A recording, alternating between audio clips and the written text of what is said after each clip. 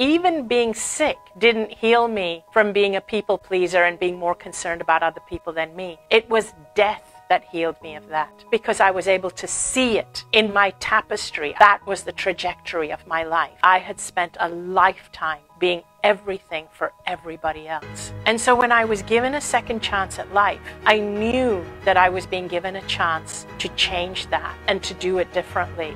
What I recommend people do is intermittently do your own life review. Don't wait until you die and ask yourself, am I spending way too many hours focusing on things that don't matter? If I crossed over today, are you satisfied with yourself? It's about allowing your soul to express itself fully, loving more, having more joy in your life. These are the kinds of things that we regret when we cross over.